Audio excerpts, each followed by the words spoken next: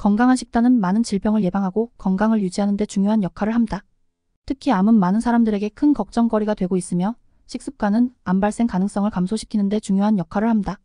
일부 식품은 항산화 성분이 풍부하거나 항염증 작용을 갖고 있어 암 예방에 특히 효과적일 수 있습니다.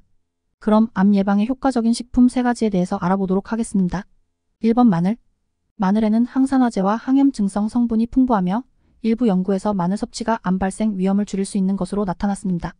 또한 마늘은 항산화 활성을 통해 세포 손상을 줄이고 염증을 억제하는 데 도움을 줄 수 있으며 이러한 작용이 암 예방에 기여할 수 있습니다. 2번 토마토. 토마토에는 리코페인이라는 항산화 성분이 풍부하며 이는 특히 토마토의 빨간색에 존재하는 카로티노이드입니다. 리코페인은 항산화 작용을 통해 세포 손상을 방지하고 염증을 감소시킬 수 있습니다. 특히 토마토는 전립선암의 발생 위험 감소와 관련된 연구 결과가 있습니다. 3번 파. 파는 항산화 성분이 풍부하며 특히 알리신이라는 활성 성분이 암 예방에 도움을 줄 수 있다고 제안되고 있습니다.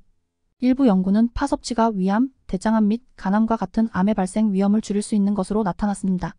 파에는 항산화 성분 외에도 칼슘, 비타민C 및 비타민 K 등의 영양소도 풍부하게 함유되어 있어 건강에 이로울 수 있는 다양한 영양소를 제공합니다.